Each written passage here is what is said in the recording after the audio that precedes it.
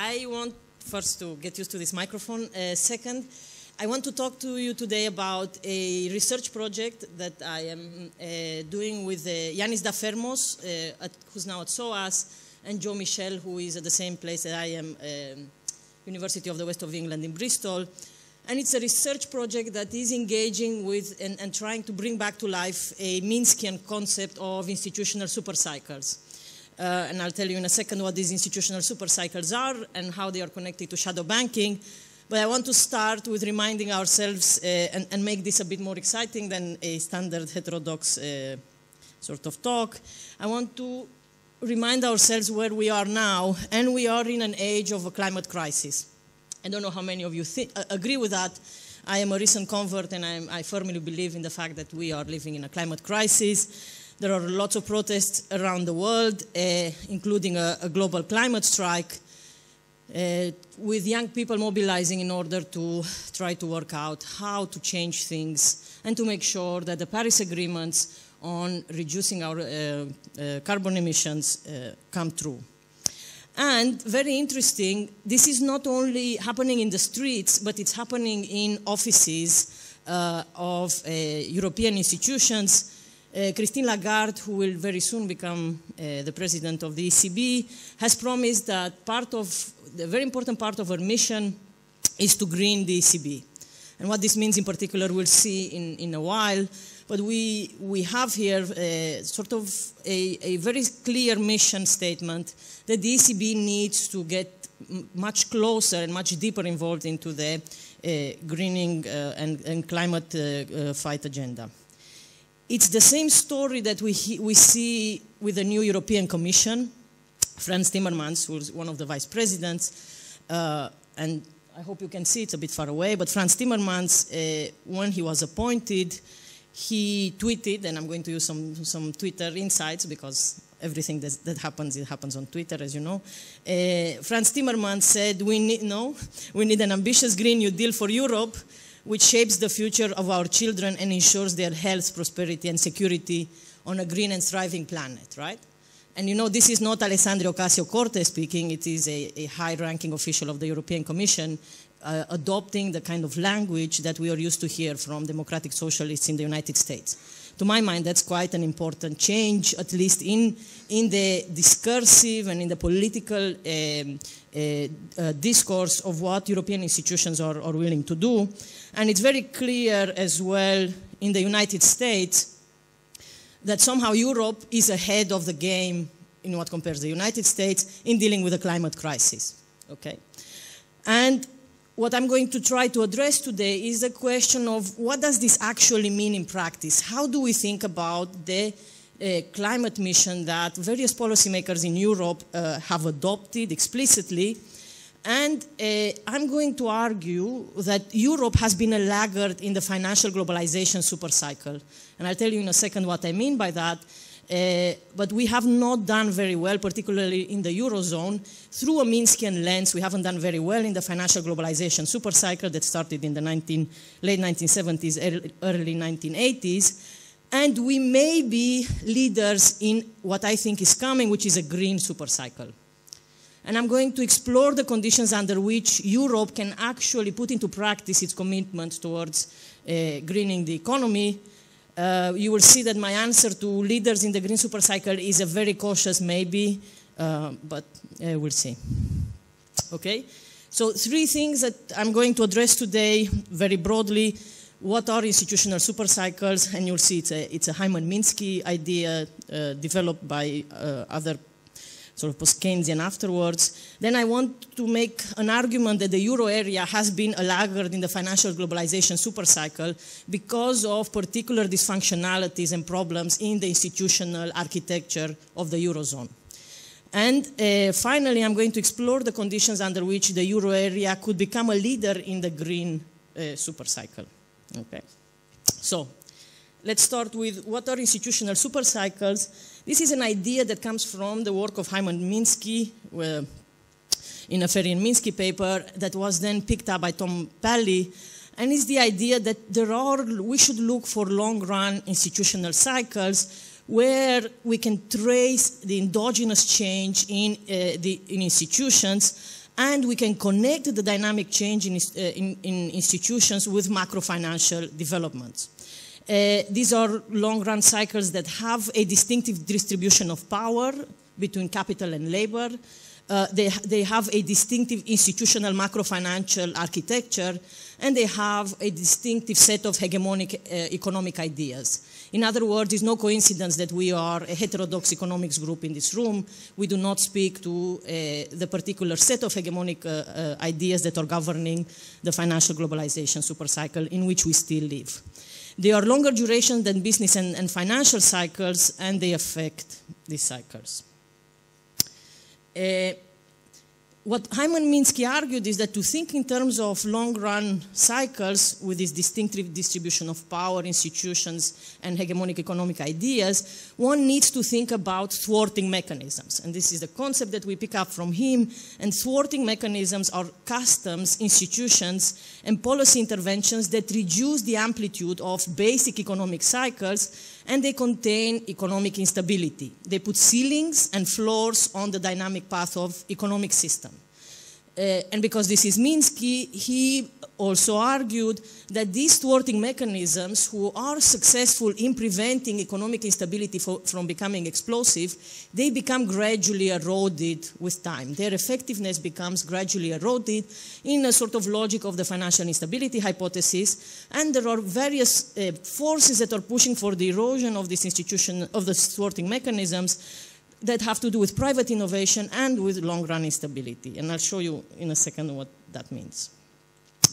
When we, so we take this uh, framework from Minsky and Thomas Palley and we add, so we add certain ideas from other theoretical frameworks, particularly from international and comparative political economy, where they look at distinctive growth regimes, uh, and from financial geography, where they think through the, the implications of the global arrangements uh, around uh, finance. And more, more most importantly, in some ways, we look and draw on the shadow banking literature that emerged in, in, after the global financial crisis in order to try to conceptualize where we are structurally in terms of uh, the makeup of the uh, local and global financial system.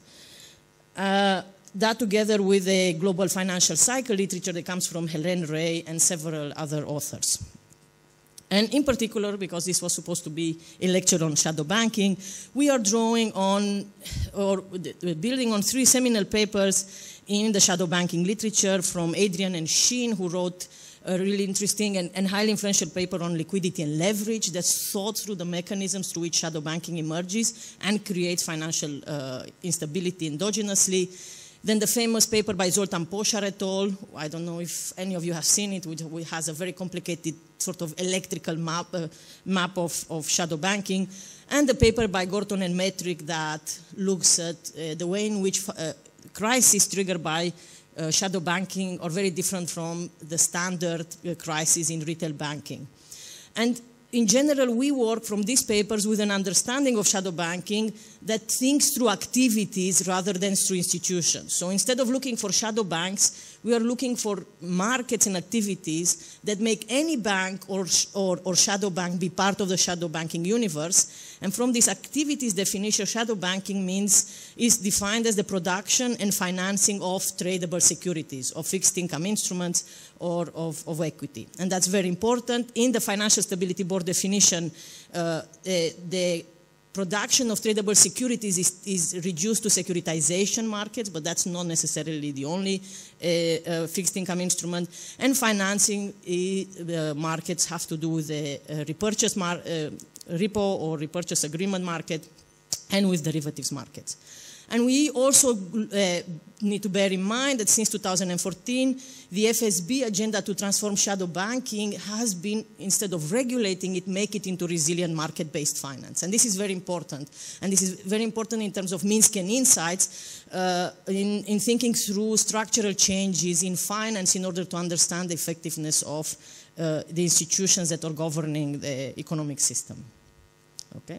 So with this, in, with this in mind, we propose, we think through two institutional super cycles, uh, one that started after the Second World War uh, and finishes towards the uh, beginning of the 1980s. We call this the industrial capitalism super cycle, we theorize the cycles in terms of four different stages, an expansion, a maturity, a crisis, and a, a genesis phase. In this expansion phase, we have uh, the new set of thwarting mechanisms, new set of institutional arrangements coming up in order to provide new forms of stabilizing a uh, capitalist economy that is fundamentally unstable.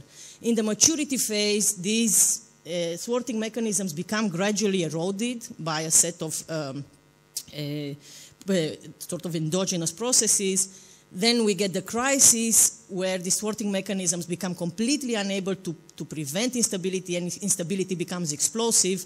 And with a crisis, we have a new set of mechanisms that are coming through in, in a genesis period.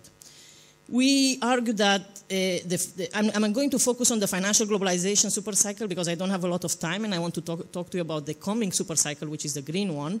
Um, just to notice that the red line, it doesn't come out of empirical data, it's just we draw it to think about how the, the, uh, the effectiveness of thwarting mechanism, which is what the red line is capturing, increases and then falls over time.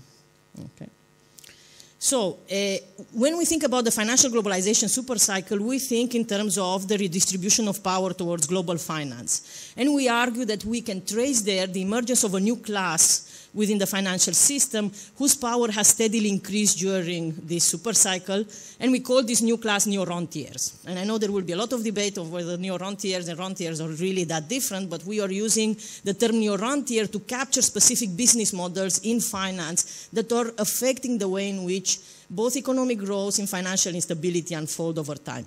So we define neo-rentiers as those financial institutions whose activities are geared towards the production of new asset classes via shadow banking and market-based finance. And here we're treating shadow banking as a variant of market-based finance. And to give you an example of what we mean by these neo-rentiers, I'm showing you here the very rapid growth in asset management, and asset managers are financial institutions who are managing assets on behalf of institutional investors and these include uh, insurance companies, pension funds, sovereign wealth funds, the um, uh, cash pools that come from multinational corporations who are very good at hiding or moving their profits around.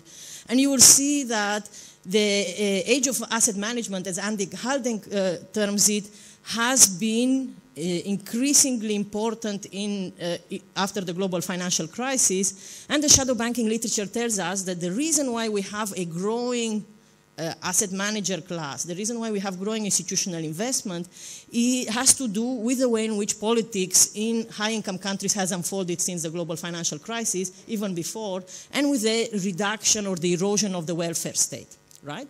And the erosion of the welfare state, remember, the welfare state was an institutional arrangement to de-risk capitalism for the for the poor and for every one of us by providing public education, by provi providing public health, and by providing uh, public pensions. When these institutions of capitalism are eroded, what we're moving towards is asset-based welfare, right? So we're starting to save through pension funds, we're starting to protect ourselves from health problems through insurance companies, and as corporations, we are starting to protect ourselves from the tax state by moving money around.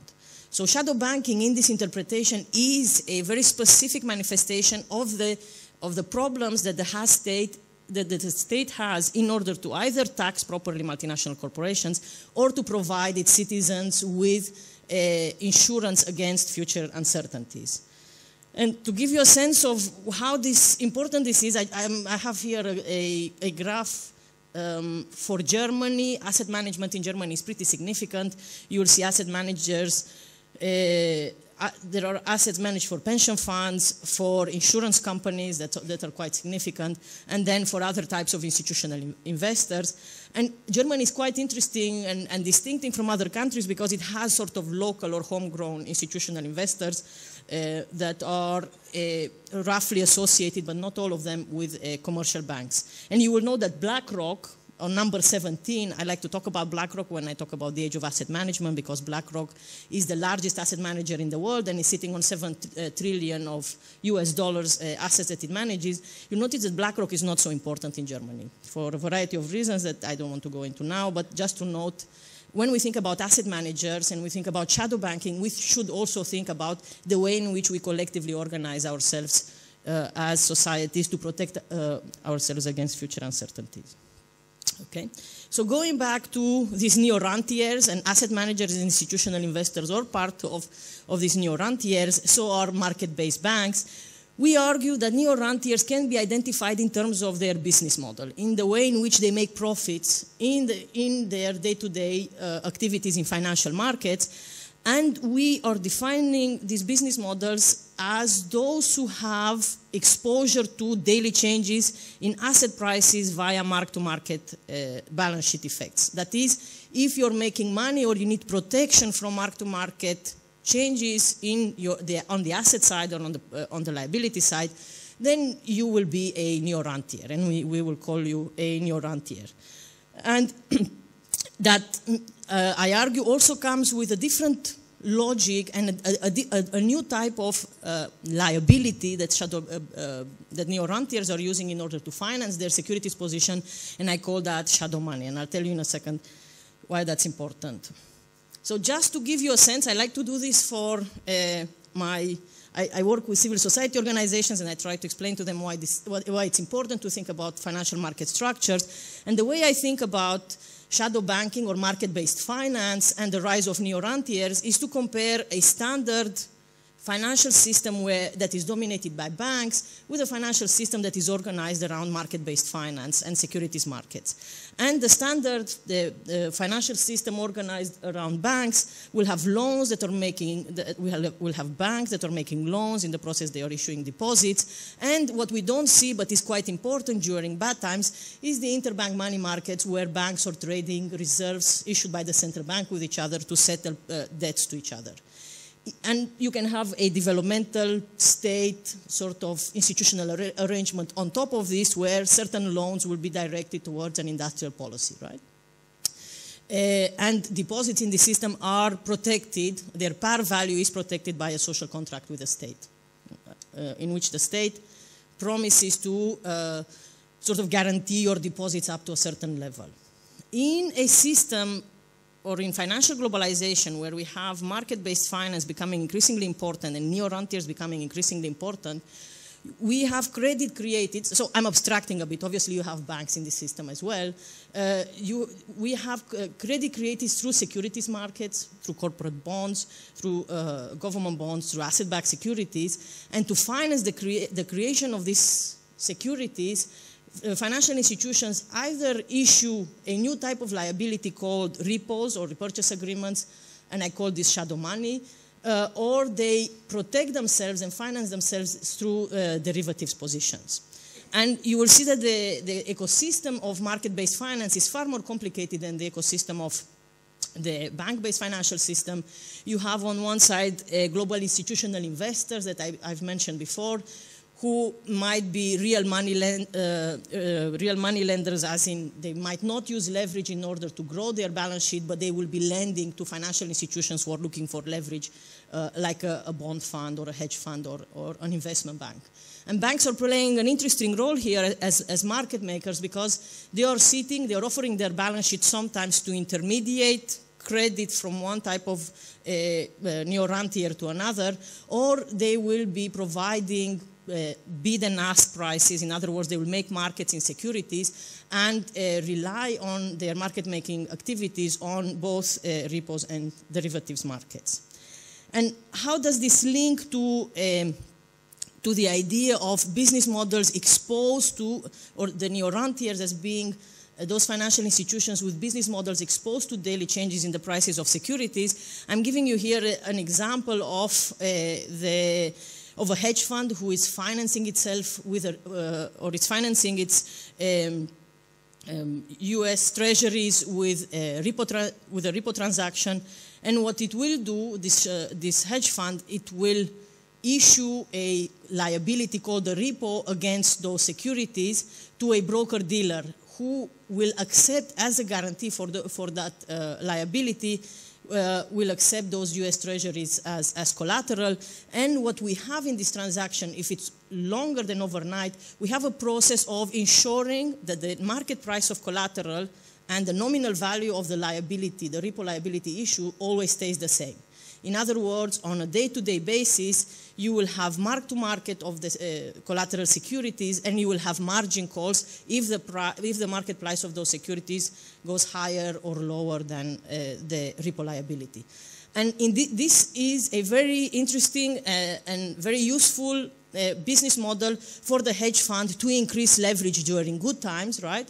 Because the higher the price of securities that it posts as collateral, to, to finance in a repo transaction, the more securities it will go get back during good times, it can make margin calls and it can borrow additionally and issue new repos on the basis of that. So the, the hedge fund has a business model that is reliant on daily changes in the uh, prices of securities in the same way that the broker dealer has a, a, a business model that is reliant on daily changes in the prices of securities because for them, if securities prices are falling, it has to start making margin calls on the hedge fund. And where you have the, the potential for making money, you also have the potential for the very complicated interaction between market and funding liquidity because once securities prices are starting to fall and the broker dealer is making margin calls, you have incentives for fire sales and for liquidity spirals. In other words, the uh, repo market and repo liabilities are going to start shrinking uh, during bad times. And this is why it is very well recognized by most central banks uh, that a financial system that is organized around securities markets is a much more fragile, uh, it has much more complicated systemic fragilities than one that is based on banks. Because the, in, the, in, the, in the bank-based model, you just, as a central bank, you just need to inject uh, liquidity or central bank reserves unsecured in the interbank money market and you stabilize that system. In the securities market-based financial system, the central bank has no choice at the end but to, uh, to buy securities in order to stabilize uh, uh, bank's ability to tap repo markets, right? So it's a very different logic of central bank interventions.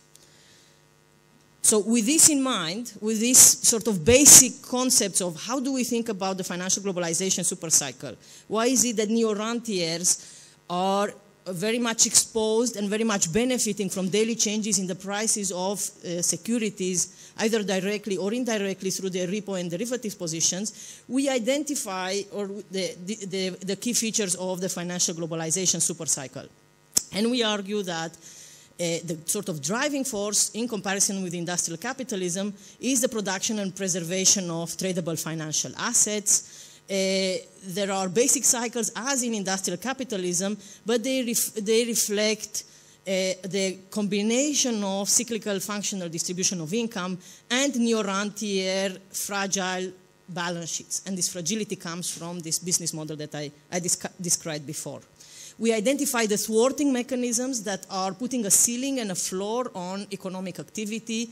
Uh, and for um, the financial globalization supercycle that has to do, the, the, these are Basel II, and then monetarism and infl inflation targeting regime, and I can explain more uh, why these are thwarting mechanisms uh, in the question and answer session.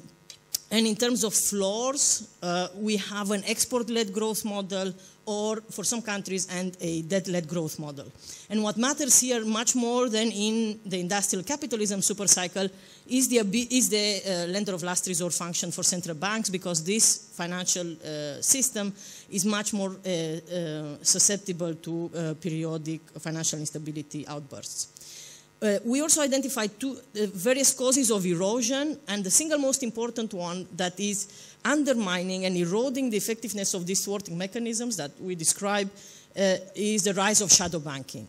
Uh, that is the rise of uh, financial uh, arrangements or financial institutions who are increasingly active in securities markets, in repo and, and derivatives markets. And that becomes a bit more precise because we're looking at the way in which the, the, the, financial systems are increasingly organized around collateral and the changes in the daily uh, prices of uh, that collateral.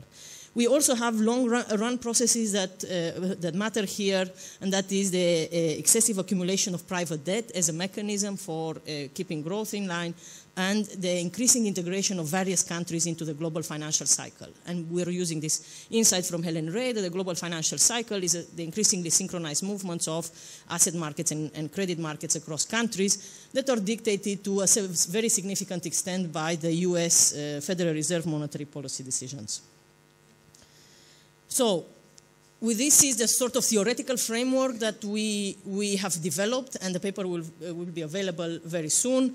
And then we, with this theoretical framework, we are looking for how to uh, describe the financial globalization supercycle for the euro area, starting from uh, the uh, expansionary phase all the way to the global financial crisis. And we're arguing that in, after the 1980s, what we see is that debt becomes a source, a source of growth. This is a, a, very well-known mechanism. And shadow banking is starting to grow, and securitization markets are starting to grow. And for Europe specifically, uh, the reliance on repo markets becomes much more important uh, in the late 1980s, early 1990s, uh, as the as the thwarting mechanisms of industrial uh, the industrial capitalism supercycles get eroded. In other words, for example, when in the 19, late 1980s, early 1990s, most central banks in, in the euro area, so well before the euro, most central banks in Europe decide to give up or to, to become uh, formally independent from the Treasury, and the Treasury needs to start financing itself on uh, government bond markets, you see a push for uh, creating and deregulating repo markets all over Europe in order to allow for neo-rentiers or market-based banks uh, to uh, help the, the state and, and debt management offices finance. In the maturity phase, we see shadow banking is no longer a, a mechanism or an institution that is, is pushing and, um, uh, or promoting growth, but it becomes a source of erosion of the standard institutions that are stabilizing capitalism. And I'll show you in a second how that applies to both government debt and to uh, the lender of last resort function of, of the central bank. And what we see then in the crisis is that lender of last resort does not work. And I think this is one of the most critical insights that you get from uh, having a shadow banking lens, and I'll talk a, a bit more about this tomorrow. Uh, lender of last resort be, becomes ineffective as a policy intervention in the euro area precisely because it is done in the same way that neo-rentiers uh, do it, that is, is done through a collateral-based uh, liquidity provision. And I would argue that what we're seeing now is a green supercycle that is emerging. So let's see very quickly how, how uh, in the financial globalization maturity phase, what we are seeing is that the institutions of the state that are governing the economy and are providing thwarting mechanisms are accommodating neo-rentier practices or neo-rentier business models. They are adopting the way in which neo-rentiers are organizing their balance sheet, both on the asset side and on the liability side. And we see first a shift in most central banks in the way that they organize monetary policy implementation during good times and as a lender of last resort to uh, repurchase agreements. And you can see that in terms of the margining practices of central banks before and after the euro crisis. And you will see that before the introduction of the euro, no central bank did mark-to-market margin calls and haircuts in the, in, uh, in the euro area. And after the introduction of the, the euro, we are moving towards a daily uh, mark-to-market and margin call or risk management uh, regime for the European Central Bank. This is the same for the US, but uh, because of the way in which the euro architecture is, is, set up, you will see that this is particularly problematic and destabilizing for the euro area.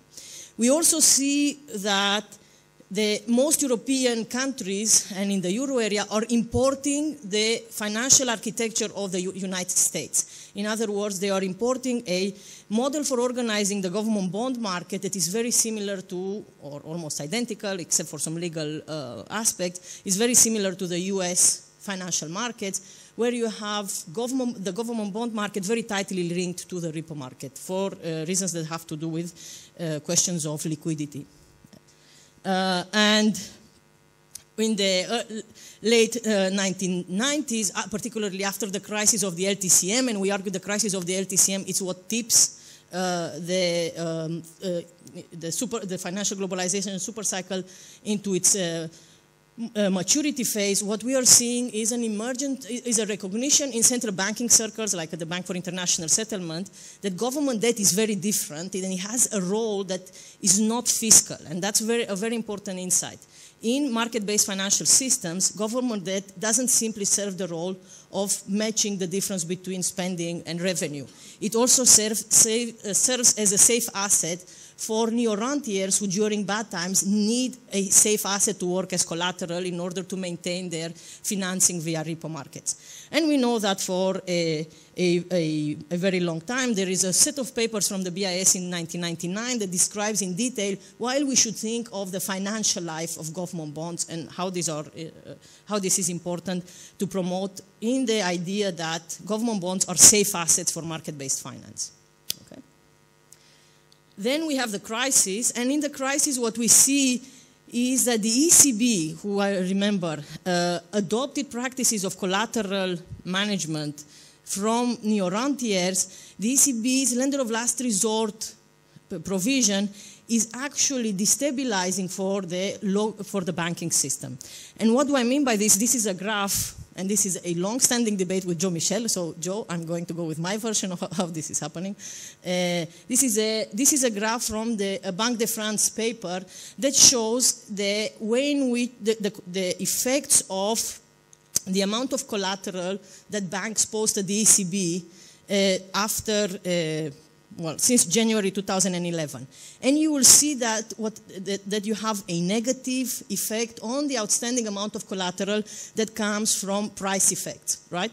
So this bit here are the price effects, and these are the price effects that come from marking to market government bonds or Spanish government bonds or Irish government bonds that are falling in price. In other words, if you're a bank, Greek or not, but typically Greek, if you're a bank, Greek bank who borrows from the ECB or from uh, the Eurosystem, from the Greek central bank, against Greek government bonds, if the price of these bonds is falling, you're basically having, getting a margin call from the central bank who, instead of giving you liquidity during bad times, is asking you to provide more collateral during bad times because it's doing mark to market. And we see these price effects there quite significant, and you will see in, in net terms the price, price effects are far more important. Uh, and they stop when, when the European Central Bank says outright monetary transactions. And outright monetary transactions are a new thwarting mechanism for the financial globalization supercycle that basically promises to provide liquidity and to maintain the safe asset quality of government bonds for uh, the euro area member states. It comes with a lot of complications around it and with conditionality, and that's a significant problem. But what we know is that a lender of last resort function in, the euro area, in, this, in the financial globalization supercycle, is completely ineffective in uh, preventing a financial crisis. We all, and we see that, for, for example, from the discussion that we have in the euro area on the single safe asset. And that discussion alludes to the fact, either directly or indirectly, if you're in German company, that basically the Bund, the, the, the government debt issued by Germany, enjoys an exorbitant privilege that is reinforced by the ECB the lender of last resort framework. And that's a problem because we would like to have a, a, monetary union where it's not one single country that issues the safe asset for that monetary union, particularly because this country has a debt brake or a Schwarze Null, and it, its, its ideas about issuing government bonds are completely disconnected uh, or unconnected to the financial stability requirements of a market-based financial system. So what you get out of this uh, Political obstacles to the emergence of new thwarting mechanisms is austerity and political instability for a long time. And I just want to note that market maker of last resort in, in the UK was much easier, was completely politically uncontroversial. In 2015, the Bank of England even wrote it down in its new uh, red book, in its new operational framework. It said, we will do market maker of last resort for, for core securities markets because we need to stabilize uh, market-based finance and we need to stabilize neo-rentier liabilities. They didn't say neo-rentier liabilities, but uh, that's the analytical framework we're using. Okay? So what we had in the euro area during the crisis phase is a systematic destruction, although not purposefully, a systematic destruction of national safe assets and of the ability of local banking systems to rely, in, in, in many cases, on their local government bonds as safe, safe asset, right? And this is, uh, there is a speech by Benoit Cœuré uh, who describes in some ways uh, the, the importance of thinking about collateral-based liquidity provision uh, when he talks about uh, sovereign debt, debt, in the euro area in terms of safe assets. And, and you have there a, a uh, recognition that collateral and, and, and with extended uh, uh, repo liabilities are money in a bank-based, bank-based sorry, market-based financial system. Okay. So uh, that's the, the, the, the, analysis that we have through this, theoret this, theoretical framework is that Europe did very bad in the, did, didn't do, very well in the, the financial globalization supercycle because the thwarting mechanisms that should have emerged in order to stabilize uh, market-based finance or shadow banking in the euro area could not emerge due to very significant political obstacles. So let's see, uh, now I want to spend uh, five, ten more minutes thinking about how we could become leaders from, uh, from laggards. And uh, when we think about a green super cycle, we think about high economic activity and employment without undermining ecological sustainability. This is a very difficult proposition. It's both have your cake and, and eat it. And I want to, to think a, a bit about uh, the existing, particularly the, the existing uh, UK strategy for creating the thwarting mechanisms for, for a green supercycle. Okay? But first, remember most discussions of climate change and the, the overall logic of a green supercycle will be to design transitions, just or not, to a net zero carbon, um, or in, in German, grüne Null right?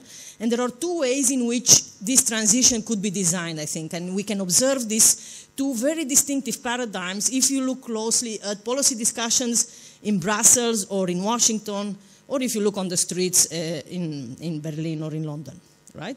And one is maximize private finance for the environment. In other words, we can have an extension of the financial globalization supercycle where the neo-rentiers, if we work with them carefully, will provide a solution to the climate crisis. And I call this the Wall Street climate consensus.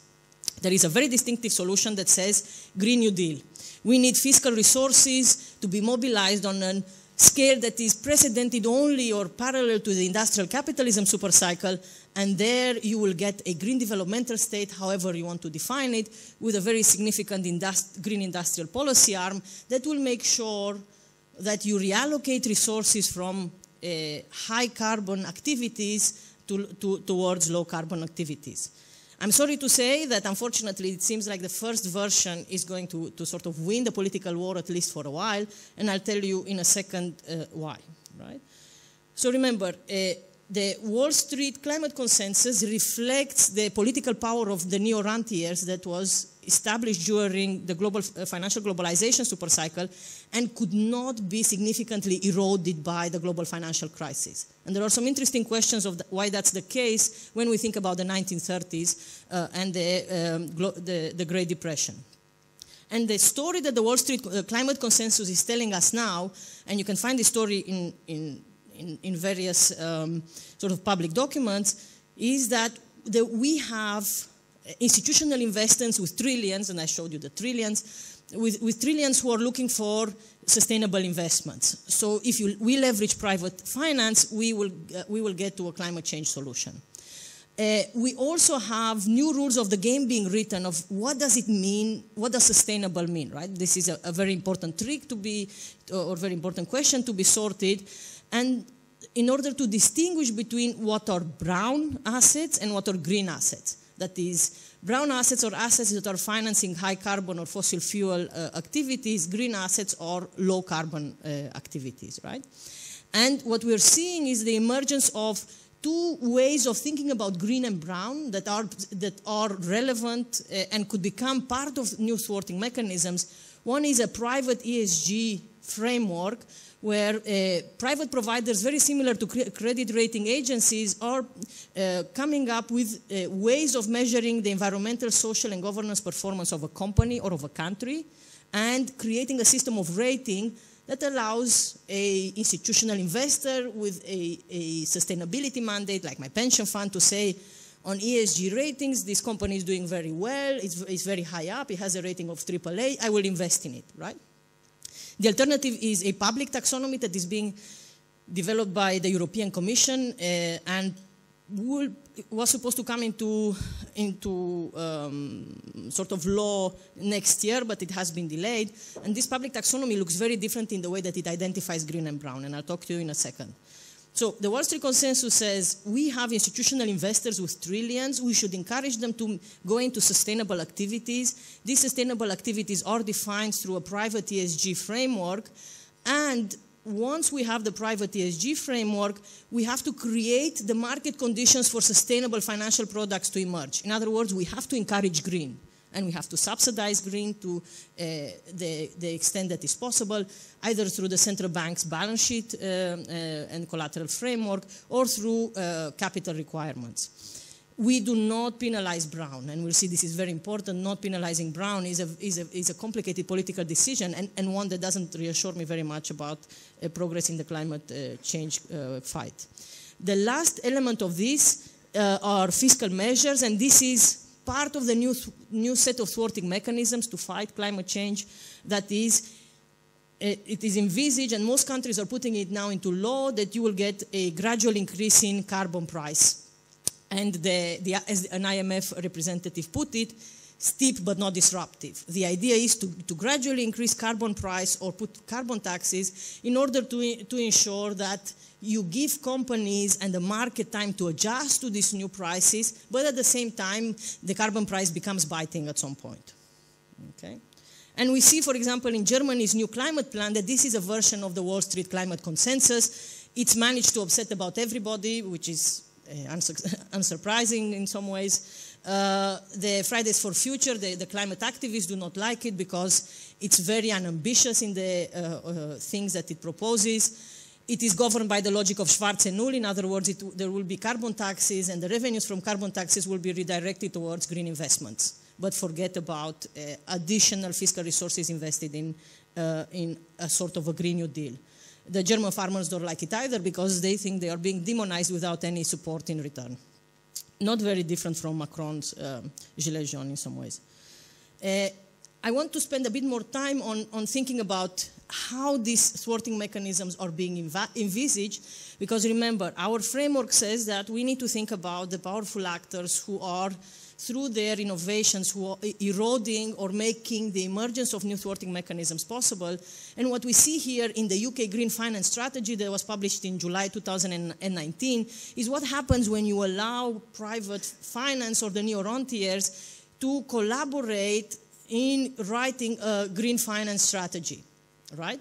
And it's basically a rules of the game that is set up for, uh, for, uh, the, the, for neo-rentiers within a logic of this Wall Street climate consensus. So the UK Green Finance Strategy says, yes, we are a very ambitious country. We really want to get to net zero by 2050. However, we will do it through what I call a deregulated decarbonization strategy. In other words, no significant thwarting mechanisms to see here. The UK Green Finance Strategy says you, you can use the private ESG taxonomies in order to redirect your investments at your pace from brown to green. If there is a disclosure of climate risk, it should be voluntary under the TCFD framework of uh, the uh, Bank of England. And that's a long discussion about why Bank, Bank of England is at the forefront front of uh, creating new frameworks for disclosing climate risks. There are some carrots for greening the mortgage market, but no direct state investment in, in housing. And very important, this, the, the UK is treating the climate crisis as a strategic opportunity for the city to uh, uh, increase its competitiveness in green finance. Okay? So I would say that this is greenwashing financial globalization, and it raises some interesting questions for our theoretical framework, because to get a green supercycle, you need to get thwarting mechanisms that are effective. And this is not an effective uh, set of thwarting mechanisms. This is basically a making a gift for, uh, for, for the new rentiers. And I looked through, uh, yesterday I was talking about this to a different audience, and I looked through the German uh, uh, green finance strategy. It's not as well articulated as the, the UK's. Uh, it is delightfully ambiguous, I would say. if you look at this scheme here, I have no idea what it actually means in practice, but we know there will be system analysis, action fields, there will be relevance and need for change. Um, and if you dig a little bit more into what they actually mean, uh, it's very clear that to my mind, that there are similarities to the UK strategy. In other words, uh, it's written black on white. There is an aspiration to establish Germany as a leading location for sustainable finance, which is allow the markets to identify what kind of green products it would like to provide instead of uh, having a more decisive regulatory intervention. Uh, very important, it's also uh, anchored in, in, an ESG framework. So going with the, with the logic of identifying brown and green uh, according to uh, the ESG approach. And you'll say, why do we care about taxonomies? And I think this is one of the, the, the tricks that I don't know how you want to call it, neoliberalism, fi financialization, but the current political arrangements that we have are hiding the politics in very technocratic discussions. This is an example of hiding the politics in very technocratic discussions because deciding what is green and what is brown will set the agenda and will influence the way in which we respond to the climate crisis for the next 30 years. And the private finance says we should decide what is green and what is brown through ESG investing, through the ESG framework, and that's a, the ESG framework is a system of aggregating a set of uh, or data on a set of indicators that go, goes from climate from the E, from environmental climate change, carbon emissions, etc., to S, social issues, and G, G governance, right? And with this, you can make a, um, a sort of rating. You, you, get ESG data and you can aggregate them into a rating that says Tesla is a highly ESG perform, performing uh, company. You should buy equity in there if you if you want to um, move uh, or if you want to do uh, um, impact investment, and or if you want to green your balance sheet. And the problem with that we know is is that the same incentives that you have in the credit rating agencies universe, you have them in the ESG world, probably much stronger uh, in the ESG world, because there are many different providers of ratings, and the, the way in which they choose the relevant data and the way in which they aggregate, aggregate this data is very subjective. So what we, come, what we see is subjective and conflicting ratings. This is a graph that I found from Financial Times, and it, it compares the ratings of MSCI and FTSE um, and these are two very significant providers, and you will see that you can rank very high on FTSE and very low on, on MSCI or the other way around, right? And that opens up the question of greenwashing, which is very important. In other words, if a regulatory framework comes under which uh, your ESG ratings uh, above a certain level will, will treat your assets as green and above, below that level as brown, I will start shopping for a company that gives me a high ESG rating for my portfolio. And that's the possibility of greenwashing is very significant. And we know that most uh, institutional investors are now trying to play this game and create uh, uh, links with uh, ESG providers, including in this case MEAG, which is a um, I don't know how you pronounce it in German, is one of the largest institutional asset managers in Germany. Okay, and we have a lot of evidence that there is greenwashing happening via um, uh, ESG, uh, including uh, BlackRock, who claims to be a climate change fighter, but in practice is preventing fossil fuel companies from actually adjusting uh, and increasing at least the accountability of their, of their CEOs. MSCI, who's an ESG provider, has created a, an ESG index for index investment that has uh, JP Morgan Chase in the top 10 performance of, on ESG criteria. Uh, although uh, Chase uh, has been financing quite significant fossil fuel investments. Okay. Uh, I'm going to stop in finish in, in five minutes, uh, a bit more patience. Why is the EU taxonomy? And I think this is important. There is a public alternative, and always the, the logic of thwarting mechanisms in, in our framework is that the state has to somehow create a set of, of mechanisms that can prevent or can manage systemic instability. And the European state has, is going some way into that direction with the European Commission who's saying we don't want private finance to decide what is green and what is brown, we would rather do it ourselves. Uh, and they have a, a, taxonomy that is distinguishing or identifying activities that are green or not green. And an activity is green, an economic activity is green, and therefore lending to that economic activity through whatever financial instrument is green if it meets one of, if it does substantive progress on one of these six objectives that go, goes from climate mitigation to adaptation to uh, healthy ecosystems, and it does no harm on the other five, right? It, there are some loopholes in there and there are some problems that need to be sorted, but it's, in, in, to my mind, it's a much better way of distinguishing between green and brown uh, than, uh, than the private ESG framework. And that's a way of, uh, uh, an example of how you aggregate across different companies and you, you come up with a green, with an equity fund that is green because it's about 50% uh, invested in activities that are taxonomy eligible. Okay, so very important. There is a way to think about green and brown uh, in a taxonomy that is provided by, by uh, the state. Unfortunately, uh, this taxonomy is no longer, a, um, or for the moment, it has been put on the, on the back burner, and we are staying with the ESG. And the overall, and I, I would want to use the example of Germany here, the overall difficulty uh, of moving into a green super cycle is trying to relax and to change the relationship between uh, the, uh, or to create new thwarting mechanisms that uh, can generate green investment and can redirect investment towards low carbon activities. And I have this graph uh, and uh, this uh, picture that can, tries to capture the way in which the macroeconomic arrangements and the thwarting mechanisms are going to work or not for greening the economy. And if you are in a regime of Schwarze Null or of, or of, uh, of a debt brake, it's very difficult to come up with an, uh, uh, an alternative that will meaningfully redirect the economy towards uh, uh, low carbon activities. And what is necessary in order to have these uh, low carbon activities? To have a green super cycle, you first need to have a proper taxonomy that is created by the public uh, or by the state uh, with as much distance from private finance as possible. And then this taxonomy needs to be used in order to green the monetary policy framework, to green the collateral framework, because at the moment the ECB does not distinguish between green and brown assets when it lends, and that means that it is basically subsidizing brown activities by not doing so.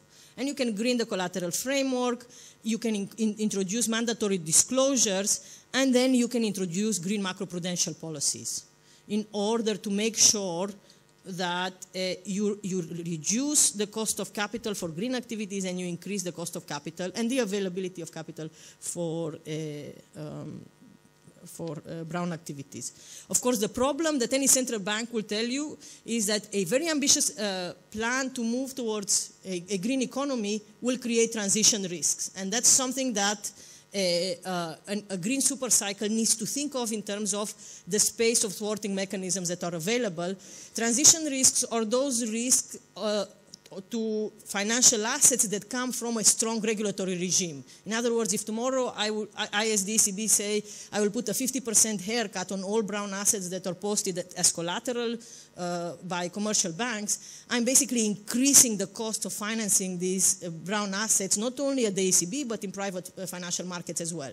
And the ECB will say, well, this creates transition risks, that can become systemic, so we can't really regulate that much for, for climate change because we don't want to have a financial crisis.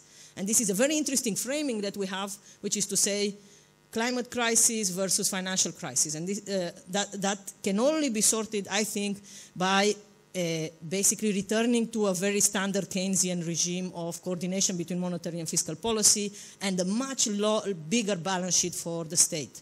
I think that's where we're heading now in terms of the political struggle in, in Europe, both in the euro area and, and abroad. And the euro area has its specific uh, problems. Uh, that could be sorted with a green FTT to sort of circumvent some of the problems, uh, some of the restrictions on bigger balance sheets for the state, and a single safe asset for, uh, for the euro area to relieve Germany from the burden of providing the single safe asset to, to Europe. Okay. I will conclude here to just say that if we, the European institutions will, will initiate a new super cycle, there will have to be a clear transition path for greening the central bank balance sheet, financial system, and the economy. And that is with a set of credible thwarting mechanisms need to be set up. And for that transition path to be just, so we don't have a Chilean style uh, uh, out in the streets uh, protest against the structural violence of, of capitalism, uh, we will, there will need to be a very significant shift in the economic ideas that are hegemonic from the financial globalization supercycle, and we need to reshape the macro financial architecture in terms of much more important role for, for, the, for the fiscal arm of the state and uh, re return to the subordination uh, of monetary policy to fiscal objectives. Okay, thank you. And I don't know if I took too long. Thanks.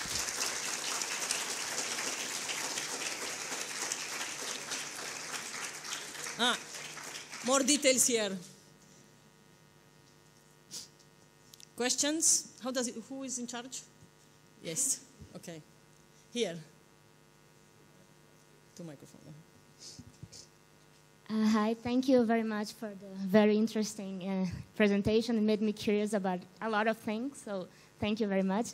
And well, I just wanted to make one of the questions, but I, I would like if you could talk a little bit more about the, the role of the inflation targeting as a thwarting mechanism. So how and why it, it, it is so.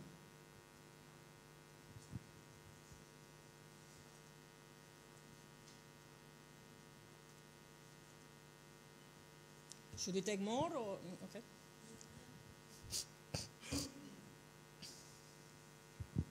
Hello, um, I wonder why is the um, single safe asset a burden for Germany?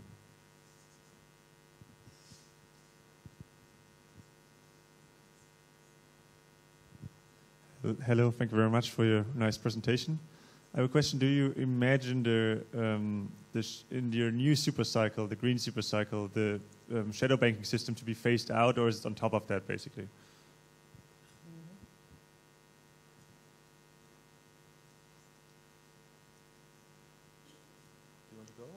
Okay, I'll, I'll take these ones and then. Um, okay, so uh, inflation targeting emerges as a, as a thwarting mechanism because it provides a, a, new policy framework under which to stabilize inflation, right?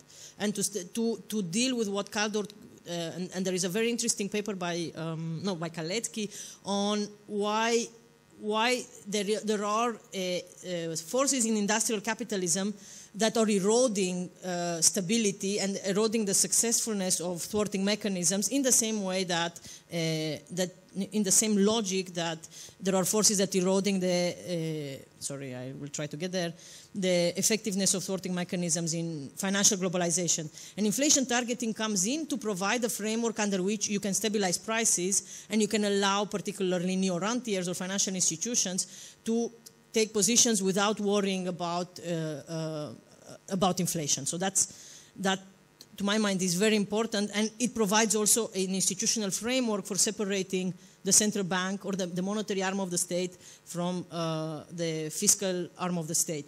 Uh, here, in, in terms of what we have in the in the paper and in, in how we conceptualize uh, the erosion of uh, thwarting mechanisms in the industrial capitalist supercycle, we have wage price spirals and, and oligopoly structures that are basically pushing for uh, or, or, reproducing inflationary pressures. And there is a very long debate of what caused inflation in the 1970s. I don't want to go, to go into that now, but inflation targeting emerges as a regime that successfully stabilizes in the beginning um, uh, uh, inflation and allows for the emergence of a much uh, larger financial system. Why is the single safe asset a burden for Germany? You are very right. I did not phrase it properly. It is a burden for the rest of the Eurozone, not for Germany. Thank you. Uh, and I, to just elaborate, um, I mean, it is a comfortable position to know that in, during crisis, everybody will run into your government bond market. Uh, and that is, uh, paradoxically, uh, it's a, although it's a, it's a comfortable position, it, it's not one that encourages, encourages Germany to borrow more in order to invest in its infrastructure which is a, a, a, mystery to me, but that's where we, we are now. Uh, I think there is a recognition, and there are various, there will be various people in the audience here or presenting that, that will discuss how do we deal with this fundamental shortcoming of the Eurozone architecture in the sense that we, we really shouldn't burden Germany and the, the particular preferences of the, of the German public with uh, the levels of uh, government debt that are necessary for financial stability purposes in, uh, in the euro area. There are some very wonky solutions to that, including uh, securitizing government debt. This is a, a, proposal that has gone through the Euro European Parliament. Uh, I would prefer that there is a more public one, but that brings us into complicated political territory.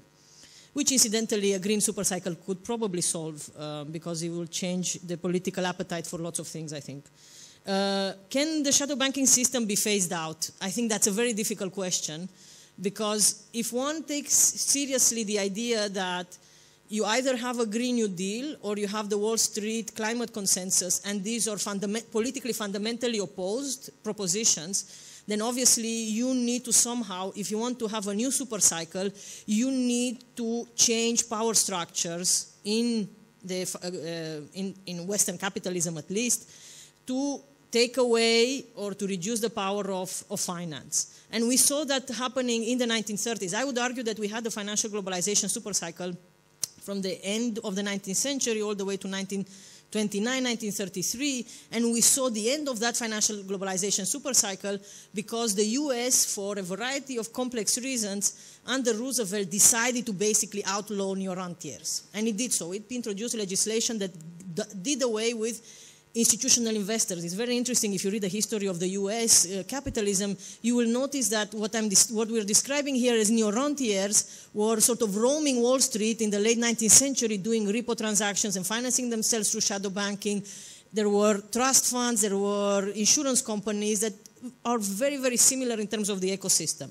What we is not similar is the willingness of, um, or the, the political context under which it is possible to get rid or to reduce the power of the neo-rentiers. And this is something that I think we see in the streets in the sense that the, the populism and the political mobilization against elites or the existing social arra uh, political arrangements, however you want to call them, are to some extent a consequence of the fact that we don't have political systems that can accommodate very significant structural changes in the way that we organize capitalism. And that is necessary, I think, in order to get to a green supercycle. How we do that, I don't know. Uh, I have my questions, but I think if, if we take the climate crisis seriously and if we get more serious climate events, if this will happen, political appetite for doing things differently will, will change.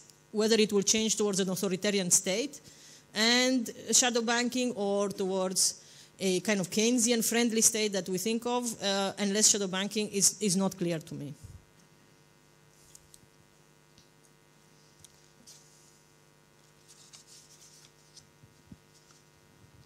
Thank you for your presentation. My question would be that uh, what's your personal view on a synthetical safe asset, maybe a green safe asset in the future? Thank you.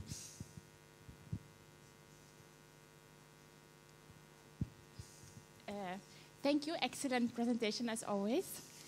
Uh, I wonder what you think um, how the business model of private banking is in general compatible with sustainability goals. Mm. And if we perhaps as a second question have to democratize banking or get rid of, well, I'm not, uh, you know, transform finance the way it's uh, yeah, uh, conducted at the moment. Mm -hmm. Thanks.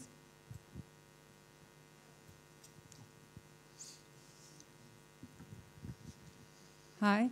Um, going back to that uh, point of um, uh, inflation targeting being a ceiling to the um, to the super cycle, and you've mentioned also that uh, Basel II is mm -hmm. a ceiling to the super cycle. I've been wondering why? Because one can think that Basel II has encouraged banks to, to put prices in its, in its own assets and manage uh, their own assets with the models, uh, proprietary models.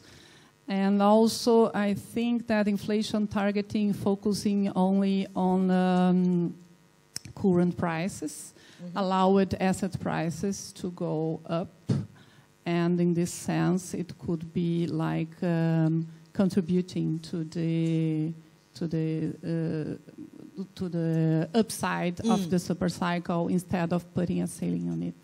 So those are the questions. Okay. Shall I take them? Yeah. Okay. So uh, first, going back to, to to your okay, let's start with the last one. Um, is uh, so Basel, what, what you have described is precisely this Minskian insight of the erosion of the effectiveness of the thwarting mechanism, right? Because inflation targeting comes uh, and, and becomes a policy framework that initially works to stabilize prices. I mean, okay, we can have arguments whether it was real inflation targeting or repressing labor. Uh, it's, a, it's a longer story. Uh, but at least in, in sort of on ostensibly, inflation targeting works at the beginning to stabilize prices, but because it creates it, it, brings us to a regime of low and stable interest rates and low and stable prices, it generates what uh, the literature calls, calls the risk-taking channel, right? So you have low interest rates to finance, you have low inflation, so you don't need to worry about that. You grow your balance sheet and you grow leverage to the shadow banking system as much as you want. So that, for us, is an example of how, with time and because of changes in the financial structure that are allowed, in a sense, by the, the project of financial deregulation, and I, th I think this is something that um, that I mean, when we think about the, the different uh, super cycles, we are we are very clear and uh, that the Minskian insight that finan- when you let finance roam free, things are going to be much more volatile, and the ups and downs of the basic cycles are going to be more significant than the ones you have in industrial capitalism, because the political struggles there are, are a bit let's say, a bit less complicated by, by finance. So in that sense, you're right. Uh, there, are, there are ways, I mean, Basel II did not restrain anybody from doing anything in the same in the way that Basel III is now. Like if we think about the effectiveness of Basel III uh, and why it will be very soon repealed, I, I, I have a sense uh, that has to do with the with the financial globalization. Is the business model of banking compatible with sustainable goals? Uh, that is a difficult question. if you ask a, a politician to, I mean, I would say that there is a scenario under which if you have a taxonomy that is credible uh, and that is produced at, at arm's length from uh, private interests and from vested interests, and if you use that taxonomy in order to, to impose brown haircuts and brown margins on private transactions and to reward uh, uh green activities, in a sense, what you are doing is you're taking the banking system by the hand through a process of greening their balance sheet that is not very dramatic. But I think we have to recognize that if climate crisis is serious, and I, I personally think that, then finance will have to take a period, a period that can be short or medium or relatively short of low profitability like very low profitability, you can't solve the climate crisis or you can't address the climate crisis. Maybe solve, solve it is too ambitious, you can't address the climate crisis by making everybody happy. This is not a win-win scenario. It is a, we all lose a little bit. Uh, let's see how the distribution of losses uh, is organized by the state. That, that's my, my view is that's the best way to move forward. Whether this can happen with, with a, a, a financial system where you have very powerful institutional investors, where you have very powerful asset managers, is a different order of, of magnitude. But I do not know any political party that is willing to, to do the things that need to be done now, which are I would say in, in the logic of the green super cycle, you have to go and say, well, you know, nationalizing pension funds is, or insurance companies is not such a bad idea because their exposure to stranded assets is so significant that we will have to nationalize them anyways 20 years from now. Let's just do it now and then free ourselves from the constraints of worrying what our measures will do to pension fund liabilities or to pension fund assets. Uh, so, but I don't know. I, I, do, I, don't see the German Green Party proposing to nationalize pension funds yet. Uh, maybe it will happen. Uh, but that's, that's the kind of political discussion that we need to have in terms of thinking through what is necessary to do to the financial system in order to allow ourselves to finance a Green New Deal. Uh, on the synthetic safe assets, uh, if you refer to the synthetic safe asset proposal uh, that the European Commission has, the SBIS pro, pro, uh, pro, project, which is securitizing sovereign bonds. Uh, I, I would just reproduce what private finance thinks about it, about it, which is it's a crazy technocratic fix to a very serious political problem. That is, if the idea is that if you put German and Greek government bonds together, and then you securitize them and you issue two tranches, one a safe tranche and, and possible, now there are two junior and mezzanine tranche, uh, somehow you will distribute risk in the euro area without, uh, without joint liabilities. I think uh, private finance doesn't particularly like it. Debt management offices across the euro area don't particularly like it. The economics is not there in terms of the relative profitability of the various tranches. So I don't know. It's a, it's, the, it's, the, it's a very European way of responding to a very European problem in the least effective way possible. I, I do not trust it very much, but there are people in the audience, and you will hear tomorrow, that have more confidence in, in, in, the, in using securitization as a fix for a political problem.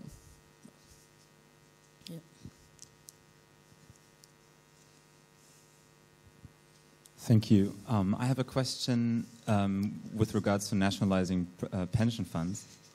Um, so I understand, I think, where you're coming from, mm. but it seems to me like not a very innovative um, solving of the problem because it seems regressive.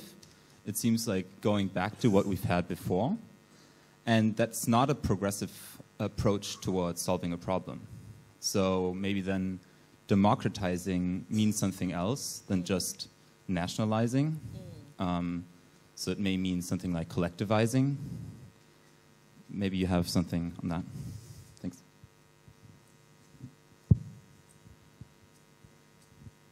Um, thank you so much for this very interesting presentation. I am just wondering, you, like we, if we understand the climate crisis as that, as a crisis, and that uh, for it to be fixed, you need very disruptive policies to the way we consume and the way uh, finance is done and the way uh, everything that you mentioned, right? So wouldn't these disruptive policies kind of go the other way in this super cycle? It would be a crisis that would then lead to an expansion, not like an expansion, you know, not up and then down.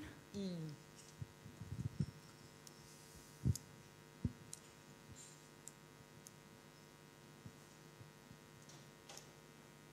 No? Shall I go with these two? Um,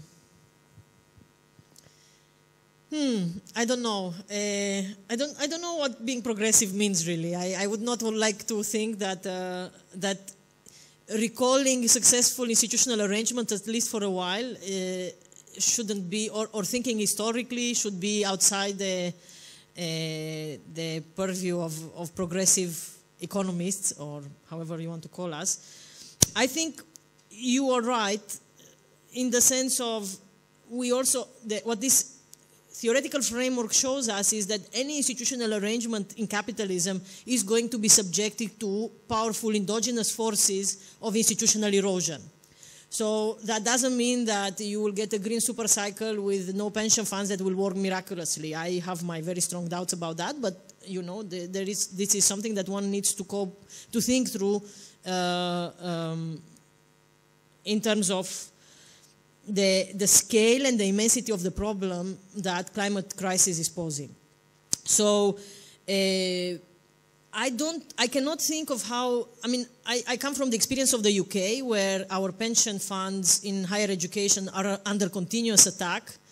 Uh, and our experience of trying to defend our pension funds from very, I would say, very neoliberal forces, you don't have to call them some, something very extravagant, uh, has been quite unsuccessful. Uh, so this is one of the great ironies of this uh, financial globalization supercycle, that in a sense we are, we are participants in it by virtue of being forced to save through financial markets, but we are not benefiting a lot from it. So my, my pension contributions have increased, my, my promised pensions is, is decreasing. And I'm imagining this will be the case, and I don't even want to imagine what will happen if we implement a, a, a greening finance policy without a, a, particular system, without, without the state properly involved, because I'll probably have no pension at the end. Um, that's, that's what I'm looking at. So how would we collectivize? I'm, I'm, I'm, interested in exploring ideas. I have no commitment to nationalizing pension funds particularly,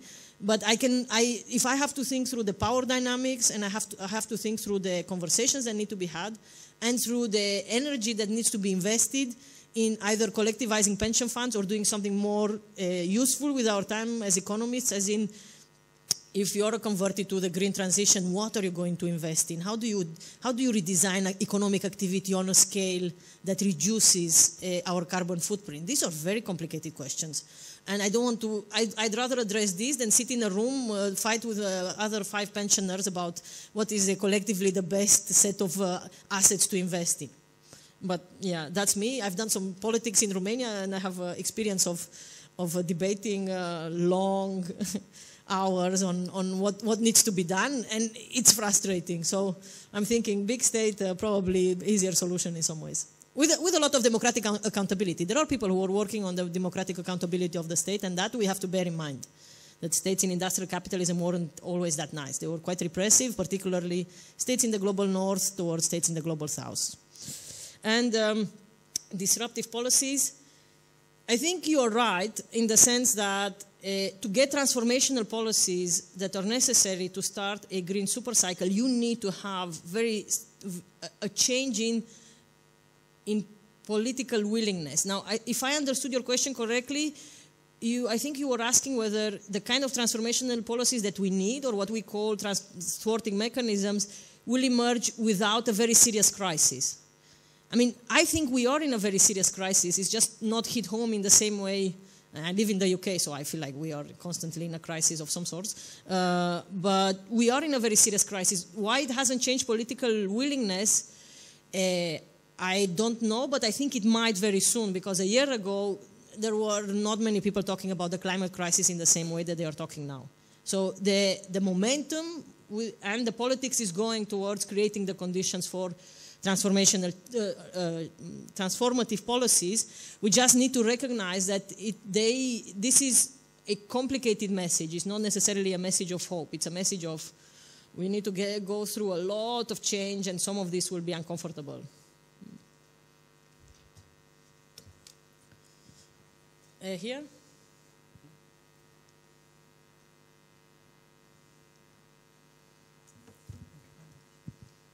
You are absolutely right about the shadow banking sector, its importance and implications.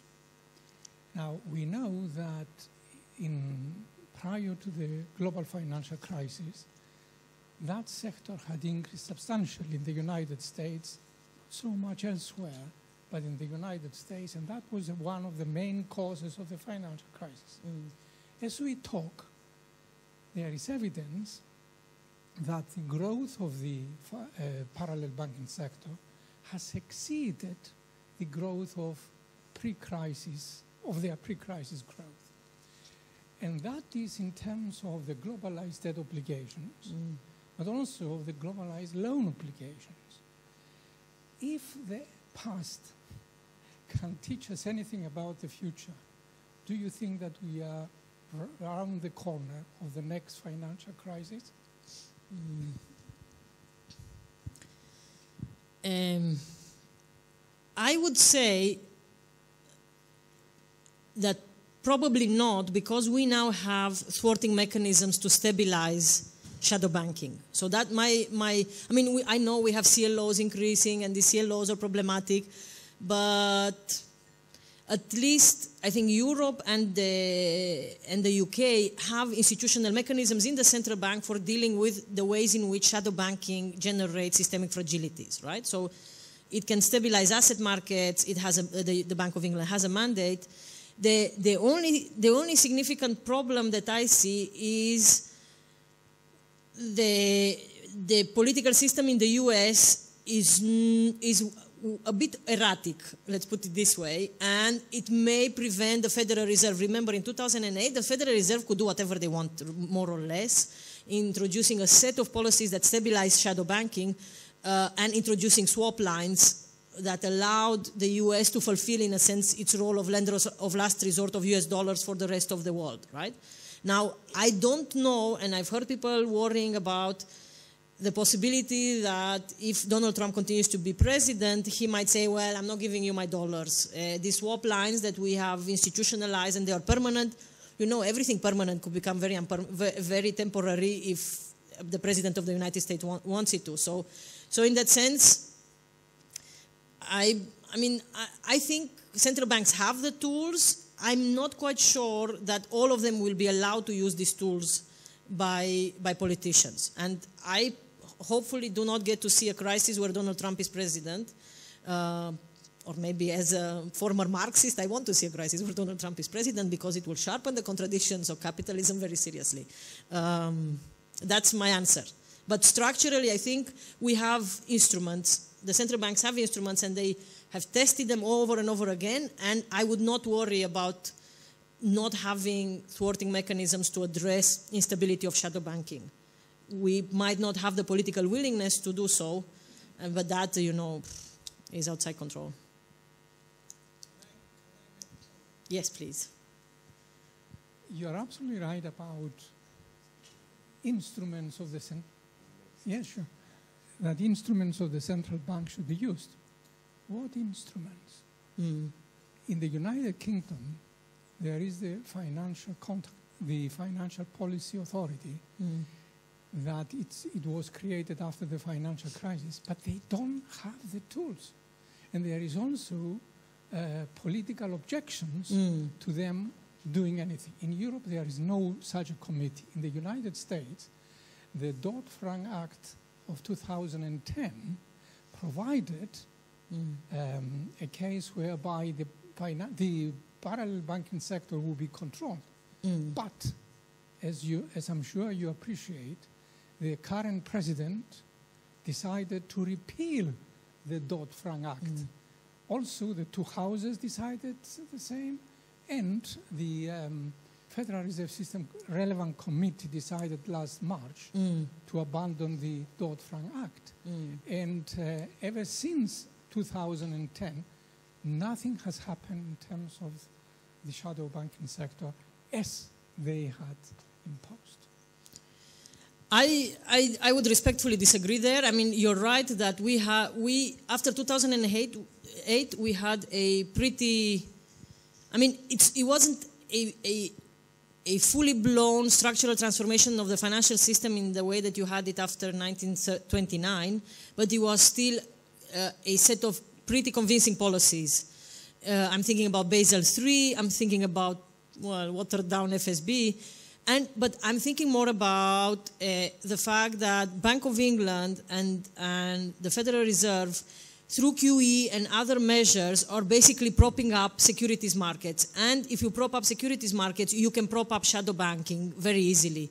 Uh, and that's why I'm putting this graph here, because the OMTs, remember outright monetary transactions, are a way of propping up securities markets to say, if market liquidity uh, evaporates, that will trigger margin calls, and it could trigger what the literature calls haircuts and liquidity spirals. It's fine. We will come as a central bank and inject liquidity in any market and make sure that you don't get destabilizing uh, interactions between market and funding liquidity.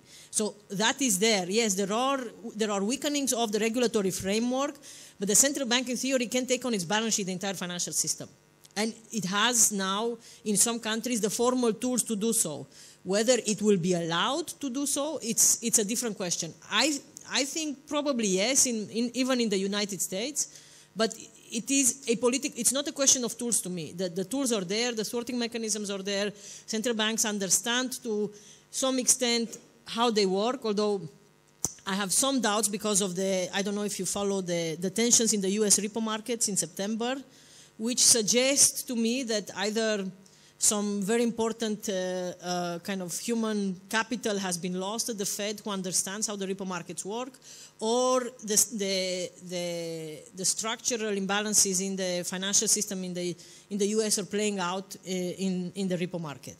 But that's not a problem to deal with. I mean, if the central bank wants it, it just buys U.S. treasuries, and if and if he can find whoever to who, somebody to sell them the treasuries, he can just buy them and inject liquidity, both funding liquidity and market liquidity in the system. That I have very little concern about that. The problem is outside the U.S.